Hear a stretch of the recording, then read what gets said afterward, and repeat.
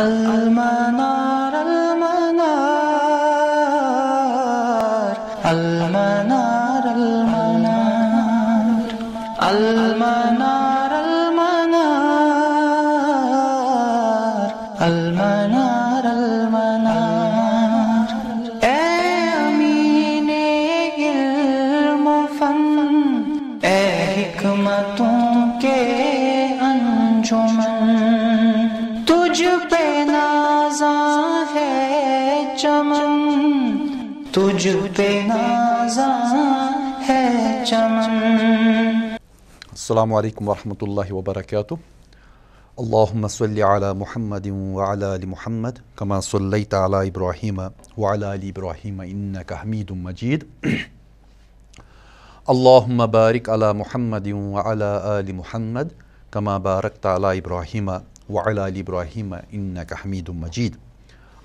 आज चालीसवां दर्स है उसूल हदीस में मंजूमा बैकुनिया का। गुज़श्त दर्स में हमने बात की मुअल्लल पे, और हमने वमा बिल्लतिन गुमूज़िन औ खफ़ा इंदहुम कद उरिफ़ा, उस पर बहस की और उस पर हमने उसकी इस्तिलाही तारीफ़ बयान की। और आज हम आगे जा रहे हैं, और आज हम बात करेंगे मुस्तरब पर अल मुस्तरब अगर आप अपने नाजिम की तरफ़ अपनी नज़म की तरफ़ देखेंगे बैकुनिया की तो इमाम बैकुनी लिखते हैं, वकौल नाजिम यानी हमारे इमाम बैकुनी फरमाते हैं, व जू इख्तिलाफ़ सनदिन अव मत मुजतरबन इंद उहैलफ़न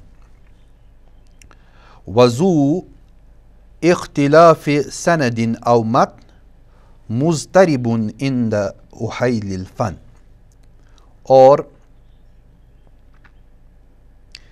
वो अहदीस जिनमें इख्तलाफ हो संद या मतन में यानी जिनमें मुख्तलिफ़ संदें या मुख्तलिफ़ मतून आ रहे हों उसको मुस्तरब कहा जाता है इन द फ़न फ़न के अहल जो है यानी जो फ़न वाले हैं उनके नज़दीक चूँकि यहाँ पर तफसील नहीं है, हम तफसील के लिए इसको देखेंगे कि किस तो किस हदीस को हम मुस्तरब कहेंगे। पहले लगवी एतबार से अल मुस्तरब जो है, वो इसमें फ़ाइल है मिन इज़ तरबा यज़ तरीबू से, और इसका मजदर बनता है अल इज़तराब और लगवी एतबार से जब हम बात करते हैं कि ये इज़ तरबा यज़ तरीबू से इसमें फ़ाइल है लेकिन ये फ़ायदा नहीं देगा हमें इसकी इस्तिलाही माना मुकम्मल तौर पर समझने में। जब हम बात करेंगे इसके इस्तिलाही माना के तो इस्तिलाहन मुकदमा इबन सलाह की तरफ़ देखते हुए इस्तिलाहन हमें पता चल, जब मैं मुकदमा इबन सलाह की बात करता हूँ तो इससे ये समझ लेना चाहिए कि ये तारीफ़ इबन सलाह के ज़माने से चली आ रही है। मुमकिन है कि उनसे पहले भी हो। तो इससे ये फ़ायदा मिलता है कि हमें एक कंटिन्यूटी मिलती है तारीफ़ में। क्योंकि आप देखेंगे कि कई जगह तारीफ़ बदल जाती है फ़न हदीस में, क्योंकि फ़न हदीस इरतिका में रहा है, खुद एक इरतिकाई अमल से गुज़रा है एवोल्यूशन का शिकार है। इसलिए कभी कभार आप देखेंगे कि कुछ अल्फाज और कुछ असलाहत के माने बदलते गए हैं। बहरहाल, यहाँ पर जो इस्तिलाही माना मुस्तरब का है मुस्तरब के इस्तिलाही माना, मा रूविया अला अवजुहिन मुख्तलिफ़तिन मुतसावियतिन फ़िलकुवा अलमुख्तसर में दर्स नंबर सैंतालीस में हमने इसको तफसील के साथ बयान किया है। यहाँ हम मुख्तसर लेंगे इसको। मा रूविया, जिसको रिवायत किया जाए, अला अवजुहिन मुख्तलिफ़तिन मुतसावियतिन फ़िलकुवा जिसको रिवायत किया जाए क़ुव्वत में बराबर, क़ुव्वत में मुतसावी और मुख्तलिफ़ संदों के ज़रिए से। यानी मुस्तरी वो हदीस है जिसको मुख्तलिफ़ संदों से रिवायत किया जाए और वो सनदें जो है क़ुव्वत में एक दूसरे के बराबर हो। लेकिन मसला ये है कि हम इसमें तरजीह नहीं दे पा रहे हैं। हम इनको जमा नहीं कर पा रहे हैं। हम उनको मनसूख नहीं कर पा रहे हैं। न नस का कायदा इस्तेमाल होता है, न तरजीह का कायदा इस्तेमाल होता है, जिस वजह की बुनियाद पर, न जमा का कायदा इस्तेमाल होता है। जिस वजह की बुनियाद पर हमारे पास एक ही हदीस मुख्तलिफ़ इसनाद से आ रही है और मुख्तलिफ़ इसनाद से आने की वजह से हम उसको जमा नहीं कर पा रहे तो ऐसी हदीस को हम मुस्तरब कहेंगे। और मुस्तरब की जो अकसाम है, वो दो हैं। एक मुस्तरबुलसनद मुस्तरबुलसनद जिसमें इज़तराब सनद में हो, और मुस्तरबुलमत जिसमें इज़तराब मत में हो। ये दो किस्में, मरूफ दो किस्में हैं मुस्तरब हदीस की। इसको समझने के लिए हम मिसाल से काम लेंगे। मुस्तरबुलसन जो है, उसमें इमाम तिरमीज़ी ने हदीस बयान की है कि इमाम तिरमीज़ी फरमाते हैं, हदीस नंबर तीन हज़ार छः सौ नौ। इमाम तिरमीज़ी बयान फरमाते हैं कि हदसना अबू कुरैब, हमसे बयान किया अबू कुरैब ने, कौला, और उन्होंने कहा हदसना कि हमसे बयान किया मुआविया इब्नो हिशाम ने। और इब्नो हिशाम रिवायत करते हैं, अन शैबान, अन अबी इसहाक, अन इक्रिमा। इबन हिशाम रिवायत करते हैं शैबान से और शैबान रिवायत करते हैं अबू इसहाक से और अबू इसहाक रिवायत करते हैं इक्रमा से और इक्रमा अन इबन अब्बास, हज़रत अब्दुल्ला इबन अब्बास रज़ी अल्लाह तहुमा से बयान करते हैं, कौला कौला अबू बकर। और वह कहते हैं कि अबू बकर रज़ी अल्लाह तु ने बयान फरमाया, या रसूल अल्लाह ए अल्लाह के रसूल, सल्लल्लाहु अलैहि वसल्लम, कद शिबता, बतहकीक आप बूढ़े हैं, बूढ़े हो रहे हैं। या आप बूढ़े हो चुके हैं। कौल रसूलुल्लाह सल्लल्लाहु अलैहि वसल्लम ने बयान फरमाया शैबतनी हूदन वलवाक़ियातु वलमुरसलातु व अम यतसाअलून व इज़शम्स कुव्विरत। कि मुझे बूढ़ा किया सूर हूद ने सूर वाक़ ने सूर मुरसलात ने सूर नबा ने और सूर व इज़शम्स कुबीरत ने।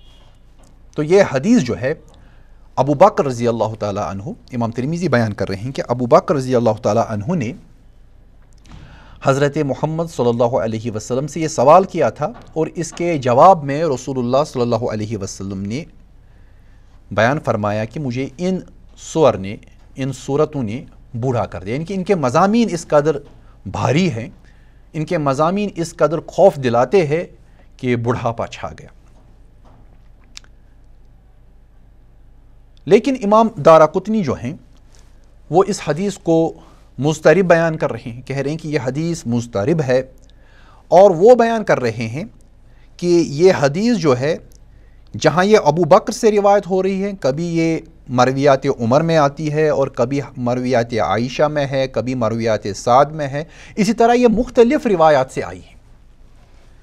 इसका मतलब ये है कि इनमें सनद के अतबार से एक इख्तलाफ है। कि ये हदीस अबू बकर की है, आयशा की है, साद की है, उमर की है। तो इन में तो ना तो जमा मुमकिन है। आप कैसे जमा कर सकते? इन में न तो तरजीह मुमकिन है। कैसे तरजीह देंगे? नाम मुख्तलिफ़ है। इनमें ना नासिक मनसूख का मामला हो सकता है। यानी बल्फाज दीगर हदीस एक ही है और इसनाद मुख्तलिफ़। मुख्तलिफ़ संदों से यह हदीस आ रही है। तो यहाँ पर समझने की बात यह है कि संद में एक इख्तलाफ है जिसमें जमा मुमकिन नहीं। और हमारी तारीफ़ जो है मारूवी अला अवजुहिन मुख्तलिफ़तिन मुतसावियतिन फ़िलकुवा जिसको रिवायत किया गया क़वत में मुतसावी मुख्तलफ, मुख्तलिफ़ इसनाद से जिस हदीस को रिवायत किया गया हो, और उसमें जमा मुमकिन नहीं, उसमें नस्क मुमकिन नहीं, उसमें तरजीह मुमकिन नहीं तो मामला यहाँ पर वही है कि इस हदीस में न तो जमा मुमकिन है नस्क मुमकिन है और न ही तरजीह मुमकिन है। इसीलिए ये हदीस जो है, ये इमाम दारा कुतनी के यहाँ मुस्तरब कहलाई और उनने कहा कि ये मुस्तरब है। बहरहाल, एक चीज़ समझने की है कि ये हदीस हज़रत उमर से हो, हज़रत आयशा से हो, हज़रत साद से हो, हज़रत अबू बकर से हो, तमाम के तमाम सहाबा जो हैं, ये असहाबा कुल्लुहम अदूल ये सब काबिल कबूल है, इनमें अदालत है और इसमें, इनमें कोई जरा नहीं। तो इसलिए कोई फ़र्क पड़ने वाला तो नहीं है, लेकिन हम इनको जमा नहीं कर सकते। कभी कभार ऐसा भी होता है कि एक रिवायत से मुतसिल बयान हो रहा हो और दूसरी रिवायत से मुरसल बयान हो रहा हो यह भी हो सकता है। और इनमें जमा की कोई सूरत जेर नज़र ना आए, कोई सूरत दिखाई न दे तो ऐसी सूरत में भी हदीस को मुस्तरब ही कहेंगे। अब देख लीजिए, इसकी दूसरी किस्म जो है मुस्तरबुलमतन या मुस्तरब, अलमुस्तरब फिलमतन भी कहते हैं। जिस तरह उसको अलमुस्तरब फिसनत भी कहते हैं। मुस्तरब फिलमतन में यही मामला कि इख्तलाफ इस कदर है कि आप जमा नहीं कर पाएँगे, ये सनत के बजाय मतन में है। मिसाल के तौर पर इमाम तिरमिज़ी की हदीस नंबर छः सौ इकासठ सिक्स सिक्सटी वन में आप देखेंगे कि हज़रत इमाम तिरमिज़ी बयान फरमाते हैं हदसना मोहम्मद इबन अहमद, कि हमसे बयान किया मोहम्मद इबन अहमद इबन मदू, यानी कौला हदसना असवद इबन आमिर, वो बयान करते हैं कि हमसे बयान किया असवद इबन आमिर ने अन शरीकिन और वो रिवायत कर रहे हैं हज़रत शरीक की बुनियाद पर, अन अबी हमज़ा और वो रिवायत कर रहे हैं हज़रत अबू हमज़ा की बुनियाद पर। अन शाबी और वो बयान कर रहे हैं शाबी से अन फ़ातिमा बिन कैस और वो फ़ातिमा बिन कैस से बयान कर रही है। कौलत कि उसने कहा सल तो अवसल नबी, मैंने पूछा या रसूलुल्लाह सल्लल्लाहु अलैहि वसल्लम से पूछा गया, अन ज़का ज़क़़त के बारे में। फ़कौला पस रसूलुल्लाह सल्लल्लाहु ने बयान फरमाया इन फ़िलमाकन सिव ज़क़़त कि बतहकीक माल में हक है ज़क़़त के अलावा यानी माल में सिर्फ़ ज़क़़त ही नहीं है बल्कि उसके अलावा भी आप मुख्तलिफ़ सदक़ात दे सकते हैं सुम तला हाजिल आया अल्लतीफ़िलबकरा फिर ये आयत पढ़ी जो सुर बकरा में है लईसल बिर्रा अन तवल्लू वजूहकुम इला आखिरी कि मशहूर आयत जो है, आयत बिर, इसकी तिलावत बयान फरमाई। लेकिन असल में हमारा फोकस जो है, वो इस सेंटेंस पर है इन फिल्माल हक़न सिवत ज़का के बतहकीक, बिल्कुल ताक़द के साथ बयान किया रसूलुल्लाह सल्लल्लाहु अलैहि वसल्लम। इन्ना भी है और लाम भी है, लाम ताक़द भी। इन फिल्माल हक्कन सिवत ज़क़़त कि बतहकीक माल में हक है ज़क़़त के अलावा भी। इसको बयान करने के बाद आप देख लीजिए कि दूसरी हदीस आ रही है इब्न माजा की। पहली तिरमीज़ी की थी और इब्न माजा की दूसरी हदीस हदीस नंबर अठारह सौ इकसठ वन एट सिक्स वन के इब्न माजा रहमहुल्ला बयान फरमा रहे हैं। हदसना अली इब्न मोहम्मद के हमसे बयान किया। अली इब्न मोहम्मद ने कौल हदसना और वो बयान करते हैं कि हमसे बयान किया। यहया इब्न आदम ने और यहया इबन आदम अन शरीक शरीक से रिवायत कर रहे हैं और वह अन अबी हमज़ा हज़रत अबी हमज़ा से बयान कर रहे हैं और वह अन अशाबी इमाम शाबी से बयान कर रहे हैं अन फ़ातिमा बिनत कैस और वह हज़रत फ़ातिमा बिनत कैस से बयान कर रहे हैं। अन्नहा समीअत हो कि उसने सुना तानी नबी, यानी उसने सुना उससे, यानी नबी सल्लल्लाहु अलैहि वसल्लम से, क्या सुना? यकूल, वो कहते हैं। रसोल्ला सल्लल्लाहु अलैहि वसल्लम कहते थे लई सफ़िलमाल हक़ुन सिव ज़क़़त कि माल में कोई हक नहीं, माल में कोई हक नहीं सिवाय ज़क़़त के। पहले हदीस में था इन फ़िलमाल हक़न के बतहकीक माल में हक है सिवा ज़क़़त ज़क़़त के अलावा भी। और दूसरी हदीस में है लई सफ़िलमाल हक़ुन माल में कोई हक नहीं है सिवा ज़क़़त ज़क़़त के अलावा। यानी पहली में आप माल में ज़क़़त के अलावा भी सदका देंगे और दूसरी में माल में ज़क़़त के अलावा कोई सदका नहीं। है तो ये दो अहादीस है जो आपस में मुख्तलफ है, मुतजाद है और इनको जमा भी नहीं किया जा सकता। इनमें नस का भी कोई करीना सामने नहीं आ रहा है। और इन दो में एक और चीज़ ये भी है कि इन दो में आप तरजीह भी नहीं दे सकते। तो ऐसी सूरत में इस हदीस को हम शुमार करेंगे मुस्तरब में। तो पहली हदीस जिसका मतन पॉजिटिव जा रहा है कि इन फ़िल्माल हक़न से व ज़क़़त, के माल में बेशक और भी हक़ हैं ज़क़़त के अलावा, और दूसरा मतन लई फ़िल्माल हक़न से व ज़क़़त, के माल में कोई हक़ नहीं सिवाय ज़क़़त के। इन दो को आप कह सकते हैं कि ये मुस्तरब है। अब मुस्तरब के बारे में इसका हुक्म जो है, इसके हुक्म के बारे में एक चीज़ क्लियर है कि ये हदीस जो है ये ज़यीफ़ है। ज़यीफ़ क्यों है? क्योंकि हमारी सही की जो बुनियादी शुरूत हैं उनमें एक शर्त है जब्त की। तो यहाँ पता चलता है कि दो अहादीस जो एक दूसरे के साथ कॉन्ट्राडिक्ट कर रही हैं दो में से एक हदीस ज़यीफ़ है। क्योंकि किस हाल, हालत से ज़यीफ़ है? क्योंकि उसमें जब्त का अहतमाम नहीं किया गया है। हिफ्स मज़बूत नहीं है। या तो वो हदीस जिसमें ज़क़़त के अलावा दूसरे हकूक़ का भी तस्करा किया गया है। या तो वो ज़यीफ़ है, नहीं तो दूसरी है जिसमें ज़क़़त के अलावा दूसरे हकूक़ का तस्करा नहीं किया गया है।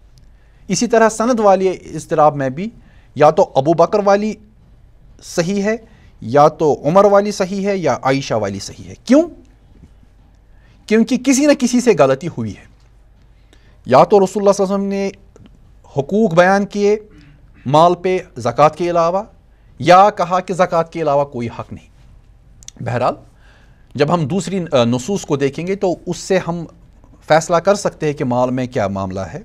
लेकिन इस हदीस का जहाँ तक ताल्लुक़ है, इसमें एक चीज़ का पता चलता है कि रावी जो हमारा है, दो में से एक हदीस में, वो ज़ब्त सही नहीं है उसके पास, उसका हिफ सही नहीं है। तो इसलिए ने सही की शराइत को के पूरा न होने की वजह से ये कहा है कि ये हदीस जो है, ये ज़यीफ़ शुमार होगी। हाँ सिवाय वो अदीस जिनमें अगर इख्तलाफ है सनद में, लेकिन कोई प्रॉब्लम नहीं। वो हदीस अबू बकर से आए, उमर से आए या हज़रत आयशा सिद्दीक़ा से आए, कोई फ़र्क नहीं पड़ने वाला है सेहत हदीस पर। तो ऐसी सूरत में तो हम कबूल करेंगे, लेकिन अगर बगौर देखेंगे तो कहीं ना कहीं प्रॉब्लम है हिफ्ज़ में कि रावी से नाम लेने में गलती हुई है। खा वो सनद में नाम गलत लिया है या मतन में कहीं उसके ज़रिए से तब्दीली वाक़ हुई है, जिस वजह से हम कह सकते हैं कि ये हदीस जो है काबिल कबूल नहीं है, इसको ज़यीफ़ शुमार किया जाएगा। तो फिर मैं मतन पे आऊँगा।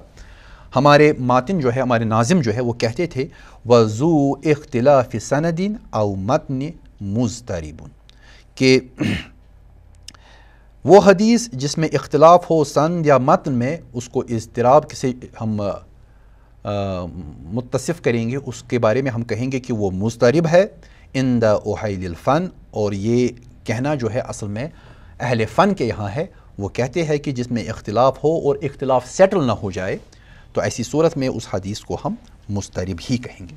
तो अगर आप गौर से देखेंगे देखेंगे कि यहाँ पर मतन को जेर नज़र रख कर बहस की गई है। तो फिर वो बात मैं कहूँगा जो मैंने इससे पहले भी कही कि मुतजदीन का यह कहना कि हदीस के मतन पे फोकस नहीं है, बल्कि हदीस की सनत पे फोकस है, ये गलत है। क्योंकि इस हदीस में आप देखेंगे कि का सनत के साथ साथ मतन पे भी फोकस है। मतन को एक दूसरी हदीस के साथ टक्कर खाने की सूरत में हम तरजीह नहीं दे पाए तो इसलिए हमने कोई फ़ैसला नहीं लिया और हमने दोनों अहादीस को ज़यीफ़ करार दिया। लेकिन अगर कुरान के साथ अब टक्कर हो, खुदा न खास्ता कुरान के साथ इस तरह इख्तलाफी सूरत हो, इस तरह तजाद हो कि आप हदीस को रिकनसाइल नहीं कर पा रहे हैं, उसका आप, उसको तौफीक नहीं दे पा रहे हैं कुरान के मतन के साथ तो वाजह है, हदीस को कबूल नहीं किया जाएगा। बहरहाल, इमाम बड़े बड़े अयम ने इस पर बात की है। हमारे यहाँ तो हमारे ज़माने में अमीन आसन इसलाही रहमल्ला ने भी बात की है इस पर और उन्होंने कहा है कि जी कुरान और इसमें टक्कर हो तो हम कबूल नहीं करेंगे। वो बात तो कुदमा ने भी कही है, वो तो मुतकदमीन ने भी कही है। ये सिर्फ़ आज की बात नहीं है, उन्नीसवीं सदी में कहीं फ़राही स्कूल या इसलाही स्कूल ने यह बात नहीं कही है, या आज के दौर के गांधी ने यह बात नहीं कही है, बल्कि ये तो ओलामा में पहले दिन से ओलामा इस कदर कमज़ोर नहीं थे कि वो ये चीज़ समझ नहीं पाते। उनके यहाँ भी है कि अगर हदीस में फ़ैसला नहीं हो रहा है, टकराव है तो हम मुस्तरब कहेंगे और उसको नहीं लेंगे।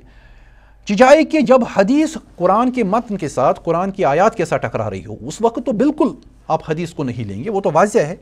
लेकिन उसकी एक सूरत यह है कि वो ओलामा हो मुहदसिन हो मुफसरीन हो जो उस टकराव को महसूस करें। हम जैसे नाअहल लोग जब होंगे तो उनको हर जगह टकराव ही टकराव दिखाई देगा। वो जमा नहीं कर पाएँगे। वो एक आ, एक रिकन्सलेशन पैदा नहीं कर पाएँगे, क्योंकि उनमें वो सलाहियत नहीं होती। और मुतजदीन के यहाँ तो ये सलाहियत बिल्कुल है ही नहीं।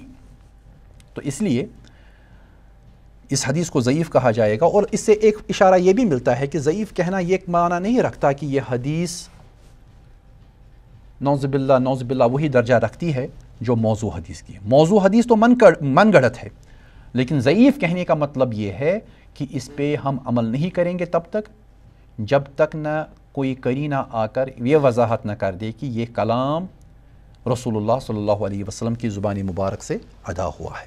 बहरहाल, इंसानी हद में जो तहकीक के पैमाने इस्तेमाल हो सकते हैं, वो हमारे मुहदसिन ने इस्तेमाल किए। और दूसरा पहलू जो रहा है कि अगर आप हदीस में कहीं कमज़ोरी देख रहे हैं तो पूरे हदीस के ज़ख़ीरे को ही आप मुस्तरद कर दीजिए। ये बात सही नहीं है। इस तरह तो क्वेश्चन हर एक चीज़ पे खड़े हो सकते हैं। इंसानी हद तक, इंसानी इस्तात तक जिस हद तक काम हो सकता है, उस हद तक एक इंसान को काम करना है, तहकीक करनी है और उसके बाद कोई ना कोई फ़ैसला सामने लाना है जिस पर वो अपनी ज़िंदगी गुजारे। अब देख लीजिए, इसके बाद दूसरा दूसरी किस्म बयान कर रहे हैं हमारे नाजिम, जो है मुदरज। अल मुदरज, इसको हमने अलमुख्तसर में डिस्कस किया। उसका दरस नंबर चवालीस, फोर्टी फोर जो है, उसमें आपको तफसील इस पर बात मिलेगी। यहाँ हम मुख्तसरा बात कर रहे हैं, क्योंकि हमारा मतन जो है बिल्कुल मुख्तसर है।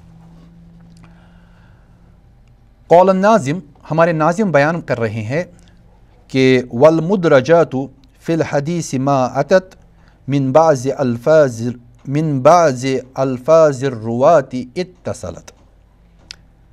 वलमुदरजात मुदरजात यानी मुदरज हदीस, जमा है मुदरजात। फ़िल हदीस हदीस में मा आतत जो आती है, मिन बाज़ अल्फाज रुवात। वो मुदरजात जो दाखिल की जाती है हदीस में, जो हम तक पहुँचती है, मिन बाज़ अल्फाज रुवात। रुवात के बाज़ अल्फाज के साथ और सनत जो उसकी होती है, वो मुतसिल होती है। यानी मुदरजात जो है, वो हदीस में दाखिल की जाती है। वल मुदरजात फ़िल हदीस मातत ये इंटरजेक्शंस होती हैं, जो दाखिल की जाती है हदीस में, और ये हम तक पहुँचती है, और ये असल कुछ रुवात के कुछ अल्फाज होते हैं इतसलत जो बयान की जाती है मुतसिल सनत के साथ। तो मुदरज वो हदीस है, जिसमें रुवात की तरफ़ से कुछ अल्फाज दाखिल किए जाते हैं, और वो हम तक मुतसिल सनत के ज़रिए पहुँचते हैं। अगर हम लगवी एतबार से देखेंगे, मुदरज लगता इसमें मफूल है मिन अदरज तुशई फ़िशई मैंने एक चीज़ को दूसरे चीज़ में दाखिल किया। इज़ा अद खल तो फ़ी ही जब मैंने, जब मैं उसको दाखिल करूँगा उसमें, तब मैं कहूँगा अदरज तो मैंने दाखिल किया अशई फ़िशई एक चीज़ को दूसरी चीज़ में। व अदरजल मैतु व अदरजल मैत फ़िल कफ़नी वल कबरी, के दाखिल किया गया मैत को कफन में या कब्र में। अद खलहू यानी उसको दाखिल किया गया उसमें। ये समझने की बात है कि जब हम एक चीज़ को दूसरी चीज़ में दाखिल करते हैं तो हम कहते हैं कि ये मुदरज है। इसमें इदराज हुआ है। और यहाँ पर लगवी एतबार से हम उसको देख रहे हैं, लेकिन अब आप देखिए कि असलाही एतबार से किसको मुदरज कहेंगे?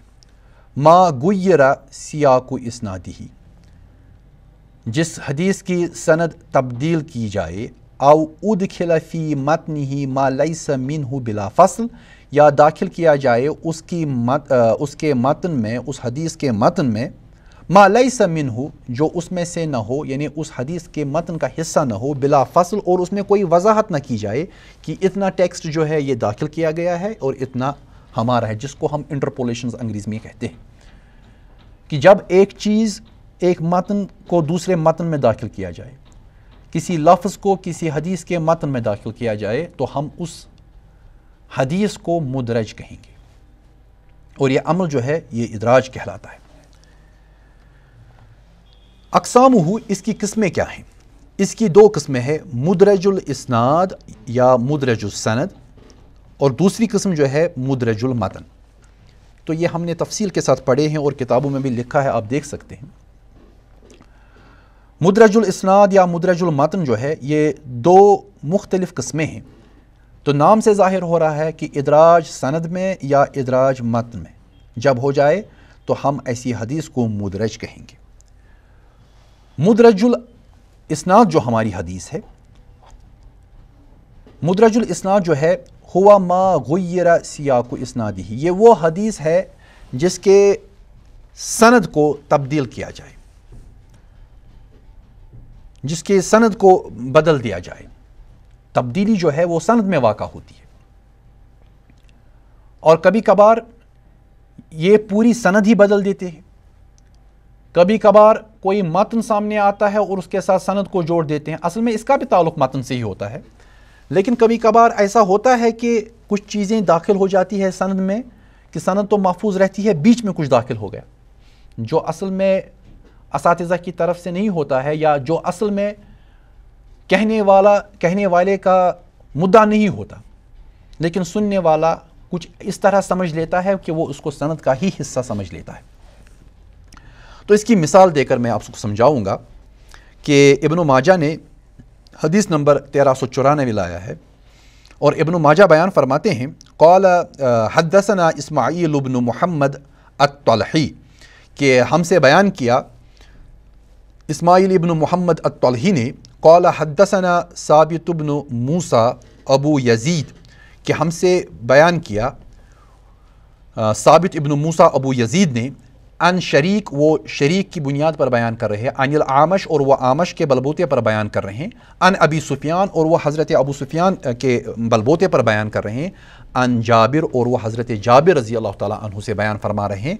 कौल कि उन्होंने कहा, कौल रसूलुल्लाह, कि रसूलुल्लाह सल्लल्लाहु अलैहि वसल्लम ने बयान फरमाया। इसके बाद कोट अन कोट टेक्स्ट जो है, मन का सूरत सलातु बिल्लैल हसन हसन वजहू बिन नहार। मन का सूरत जिसकी नमाजें ज़्यादा हो गई रात को, हसन वजहू बिन नहार, उसका दिन रोशन होता है दिन में, उसका चेहरा रोशन होता है दिन में। अगर इस हदीस को आप गौर से देखेंगे, असल में यह हदीस है ही नहीं। इसके पीछे एक वाक़ा है, जिसको तफसील के साथ ने लिखा है, कि एक दफ़ा हज़रत शरीक दर्ज दे रहे हैं और हदीस लिखवा रहे हैं और वो बयान कर रहे हैं कि शरीक बयान कर रहे हैं कि मैंने अपने उस्ताद आमश से सुना और उन्होंने अबू सुफियान से सुना और उन्होंने जाबिर से सुना कि रसूलुल्लाह सल्लल्लाहु अलैहि वसल्लम ने फरमाया। अभी वो ये कह रहे थे कि बीच में साबित इब्न मूसा अबू यजीद दाखिल हुए, जो एक जाहिद थे, रात भर जागते थे और रात भर जागने की वजह से उनका चेहरा जो है, वो रोशन भी था, उसमें जो रंगत थी वो मुख्तलिफ़ थी। तो उसी लम्हा साबित दाखिल हुए और शरीक हदीस की सन बयान कर चुके हैं। अब जब भी वो दाखिल हुए तो उन्होंने देखा कि शरीक ने कि साबित आ रहा है और उसका रोशन चेहरा है और उनको पता है कि ये जाहिद है, रातों को जागता है। तो बरजस्ता उन्होंने कहा था इससे पहले, कौला रसूलुल्लाह, और लड़के लिख रहे थे, लिखने वाला लिख रहा था, तलबा लिख रहे थे। तो इसलिए वक्फ था। और इस वक्त में जब तक वो लिख लें तब तक आ, शरीक ने ये जुमला कहा असल में साबित इब्न मूसा के लिए। जुमला क्या था? मन का सूरत सलात बिल्ल हसन वजहू बिन नहार कि जो रात पर अपनी नमाज़ों में ज़्यादती करे ज़्यादा नमाज़ें पढ़े रात को उसका चेहरा दिन को रोशन होता है। और जूँ ही साबित ने यह सुना वो ये नहीं समझा कि ये असल में मेरे बारे में शरीक ने कहा, बल्कि वो ये समझे कि शायद ये रसूलुल्लाह सल्लल्लाहु अलैहि वसल्लम की हदीस बयान हो रही थी। क्योंकि कौला रसूलुल्लाह कह चुके थे शरीक। तो उन्होंने आगे जाकर जब भी हदीस को बयान करना शुरू कर दिया तो उन्होंने कहा कि मैंने सुना कि शरीक ने बयान फरमाया, उन्होंने आमश की बुनियाद पर, उन्होंने अबू सुफियान की बुनियाद पर और उन्होंने जाबिर की बुनियाद पर कहा कि वसल्लम ने बयान फरमाया। तो वही जुमला जो उनके बारे में कहा गया था, उनको बहसत हदीस रसोल्ला सल्लल्लाहु अलैहि वसल्लम की तरफ़ मनसूब किया। लेकिन हकीकत इसके बरक्स है। तो आप देखेंगे कि यहाँ पर सन जो है, उसमें तगैर हुआ। सनद रसूलुल्लाह सल्लल्लाहु अलैहि वसल्लम तक पहुँचने के बाद एक ऐसे स्टेटमेंट के साथ जोड़ दी गई जो स्टेटमेंट रसूलुल्लाह सल्लल्लाहु अलैहि वसल्लम का था ही नहीं। तो पूरी संग जो है वो बदल दी गई। असल में ये स्टेटमेंट जो है रसुल्ला का नहीं है, बल्कि ये शरीक का है, जो साबित के बारे में कहा गया है। तो यही जब आप सनद को तब्दील करें, सनद में आप चेंज करें तो ऐसी सूरत में इसको हम मुद्रज सनद कहेंगे। कभी कभार मुद्रजुल जो हदीस है कभी कभार ये मुख्तलिफ़ होता है ऐसी सिचुएशन से। मुद्रजुल मतन किसको कहेंगे? हुवल हदीस ये वो हदीस है अल्लजी अद रावी फ़ी मतनी अल्फाजन लईसत मिनहा मिन गैर बयान। कि ये वो हदीस है जिसमें दाखिल करता है रावी जिसने रा, जिसमें रावी ने दाखिल किया फ़ी मतनी ही उसके मतन में अल्फाजन कुछ ऐसे अल्फाज लईसत मिनहा मिन गैर बयान जो उसके हिस्से नहीं है जो उस मतन के हिस्से नहीं है, मिन गैर बयान, बगैर किसी वजाहत के। वो तो हदीस ही बयान कर रहा है। और हदीस बयान करने के साथ साथ उसने कुछ अल्फाज मतन में इस तरह दाखिल किए और वजाहत नहीं बयान फरमाई कि ये हदीस का हिस्सा नहीं है। तो ऐसी सूरत में उस मतन को हम मुद्रजुल मतन कहेंगे। तो पहले मुद्रजुल सनद पूरी सनद किसी हदीस की थी, उसको जोड़ दिया गया किसी और मतन के साथ, जो असल में उसका मतन है ही नहीं। अब दूसरा कि सनद और मतन दोनों सही है, लेकिन मतन में इदराज हुआ, मतन में इंटरपोलेशन हुई, मतन में एक ऐसा लफ्ज़ या कुछ ऐसे अल्फाज दाखिल किए गए, एक टेक्स्ट में दूसरा टेक्स्ट दाखिल किया गया, और वजाहत नहीं की गई कि कौन सा टेक्स्ट किस चीज़ का है। मसलन इसकी मैं मिसाल दूँगा, जैसा कि ख़तीब बगदादी ने बयान किया है और उसी मिसाल को सब दे रहे हैं और मैं भी वही दूँगा। बहुत ही मशहूर मिसाल है कि कौला रसूलुल्लाह सल्लल्लाहु अलैहि वसल्लम, कि रसूलुल्लाह वसल्लम ने बयान फरमाया, असबिगुल वज़ू कि वज़ू पूरा कीजिए। हर एक जिसम के, हर एक जुज़ को आप अच्छी तरह धोइए। वाइलुल लिल आकाबी मिनन्नार, और तबाही हो उन एड़ियों पर, वो नार में है जो एड़ियाँ असल में खुश्क रहें, असबिगुल वज़ू वज़ू को मुकम्मल कीजिए। अब देखिए इसमें असबिगुल वज़ू असबिगुल वज़ू दो दफ़ा आ रहा है और बीच में वाइल आकाबी मिनन्नार खती बगदादी ने इस एग्ज़ाम्पल को लाया है और इसको अबू हुरैरा रज़ी अल्लाह तु की तरफ़ मंसूब किया है कि हज़रत अबू हुरैरा ने बयान फरमाया कि रसूलुल्लाह सल्लल्लाहु अलैहि वसल्लम ने बयान फरमाया कि आप वज़ू मुकम्मल कीजिए वज़ू की तकमील कीजिए, हर बदन के हर हिस्से को पूरी तरह धोइए जो वज़ू में धोने हैं क्योंकि तबाही उन एड़ियों पर वो नार में से हैं जो खुश्क रही जिन तक पानी नहीं पहुँचा। लेकिन हकीकत जो है वो इमाम बुखारी ने वाजह की है। इमाम बुखारी ने एक सौ पैंसठवीं हदीस जो बयान की है उसमें इसकी वजाहत मिलती है और खतीब बगदादी भी इससे बा, बिल्कुल बाखबर थे लेकिन समझाने के लिए उन्होंने इस एग्ज़ाम्पल को लाया है। इमाम बुखारी रही बयान फरमा रहे हैं हदसना हमसे बयान किया आदम इबन अबी इयास, आदम इबन अबी इयास ने, कौला, उन्होंने कहा हदसना शोबा, कि हमसे बयान किया शोबा ने, कौला हदसना मोहम्मद इबन ज़ियाद, कि हमसे बयान किया मोहम्मद इबन ज़ियाद ने, कौला समय तो अबा हुरैरा, कि मैंने सुना अबू हुरैरा को कहते हुए। मोहम्मद इबन ज़ियाद कह रहे हैं कि मैंने सुना अबू हुरैरा रज़ी अल्लाह तु को कहते हुए। क्या कहते हुए सुना? वकान या मुर्र बिना वन्नासु यतवज़ऊन मिनल मितहरा कौला असबिगुल वज़ू फ़िन अबल कासम सल्लल्लाहु अलैहि वसल्लम कौल वाइलुल आकाबी मिनन्नार कि अगर आप गौर से देखेंगे यहाँ पर वजाहत है कि अबू हुरैरा बयान फरमा रहे थे असबिगुल वज़ू कि आप वज़ू मुकम्मल कीजिए वज़ू मुकम्मल कीजिए हर जुज़ को धोइए अपने जिस्म के हर हिस्से को धोइए जो वज़ू में धोना है, क्योंकि, अब देखिए, क्योंकि फ़ाइन क्योंकि, अबल कासिम, यानी अबू कासिम सैदना मोहम्मद सल्लल्लाहु अलैहि वसल्लम की कुनीत है। अबल कासिम जो है, हज़रत मोहम्मद सल्लल्लाहु अलैहि वसल्लम, कॉल उन्होंने बयान फरमाया। तो वजाहत की, पहला हिस्सा जो है वो अबू हुरैरा का है और दूसरा हिस्सा वाइलमिनार का हिस्सा जो है वो ही कॉल असल में रसूलुल्लाह सल्लल्लाहु अलैहि वसल्लम का कॉल है। तो अब इमाम बुखारी ने वजाहत के साथ बयान किया कि पहला हिस्सा असल में अबू हुरैरा की तरफ़ से था कि वो तंबी करना चाहते थे लोगों की कि आप जल्दबाजी में वज़ू ना करें।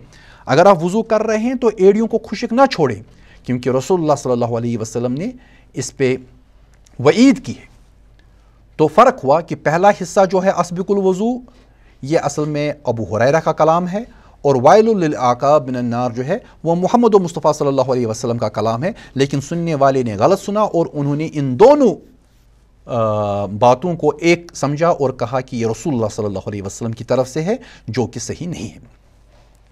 अब इदराज का मामला जो है, ये अहादीस में आपको मिलेगा मतन में। कहीं इब्तदा में आ रहा है, कभी बीच में आ रहा है, कभी आखिर में आ रहा है।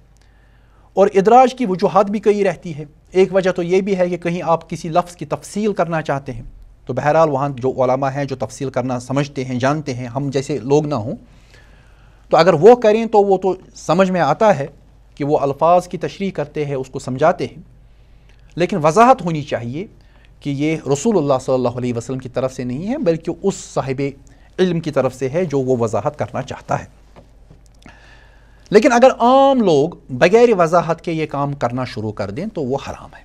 वो जायज़ नहीं है, बल्कि वो हराम है और हराम जो भी अमल है, उस पर अमल करना जायज़ नहीं। तो इसीलिए ने मुदरज हदीस को ज़यीफ़ में शुमार किया है। यही वजह है कि मुदरज हदीस जो है, अगर इदराज वाज हो तो उस इदराज को निकाल कर बाकी चीज़ें जो हैं, बाकी अल्फाज जो है, जो रसूलुल्लाह सल्लल्लाहु अलैहि वसल्लम की तरफ़ से हैं, उसको कबूल किया जाएगा।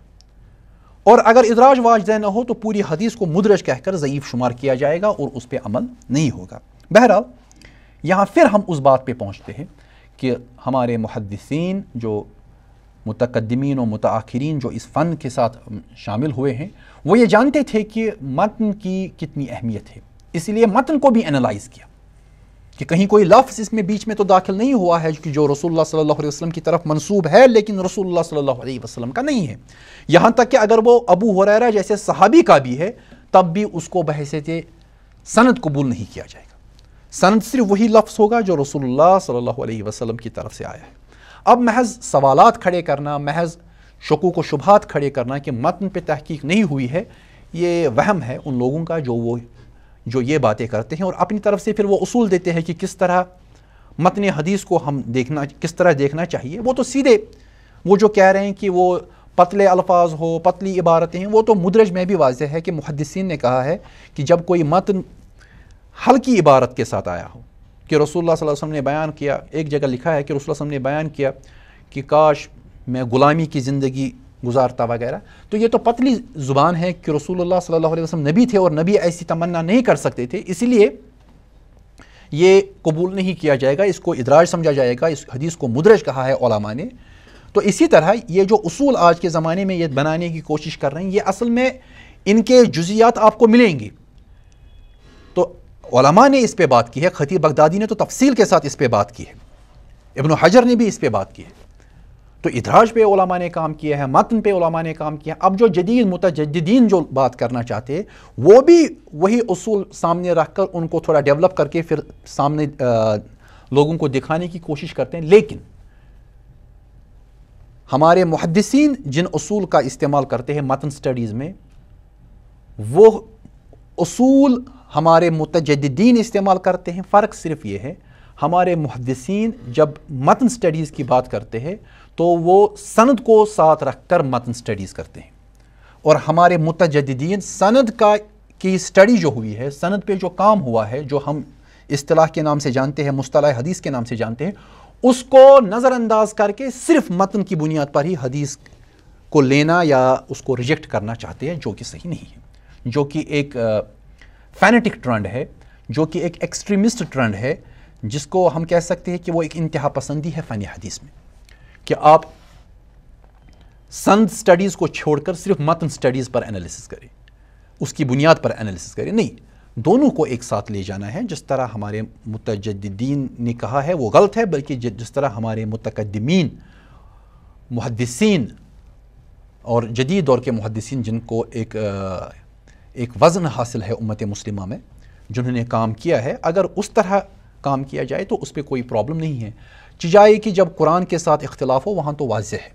जब सुन्नत साबिता के साथ इख्तलाफ हो, वहाँ तो वाज है। सुन्नत साबिता गामदी वाली नहीं, बल्कि सुन्नत साबिता वो जिसको मुहदसिन सुन्नत साबिता कहते हैं।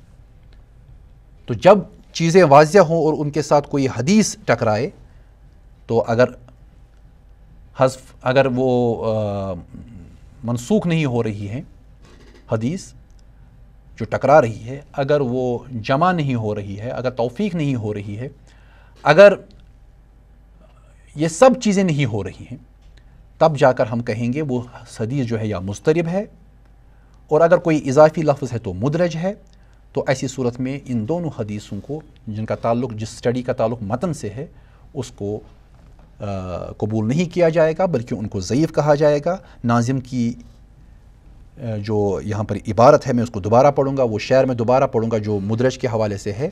वल मुदरजात फ़िल हदीस मा अतत मिन बाज़ अल्फाज़रुआती इतसलत कि मुदरजात जो है, वो हदीस जो हदीस में दाखिल हुई हैं, जो मुदरज जो दाखिल हुई हैं, जो इंटरपोलेशन हदीस में दाखिल है, जो हम तक आई है मिन बाज़ अल्फाज रुवात।